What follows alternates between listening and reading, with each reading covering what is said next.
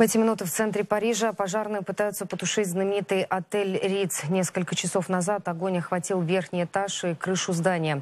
К счастью, из-за пожара никто не пострадал. Внутри «Рица» не было постояльцев. Гостиница уже несколько лет закрыта на капитальный ремонт. А вот само здание получило серьезные повреждения, и теперь, скорее всего, отель не откроется в срок. Реконструкцию планировали закончить уже в марте этого года. Сейчас на месте работают пожарно-спасательная служба, выясняются причины возгорания. Парижский отель «Риц» известен как один из самых дорогих и роскошных в мире. В свое время здесь останавливались Чарли Чаплин, Коко Шанель и Эрнест Хемингуэй.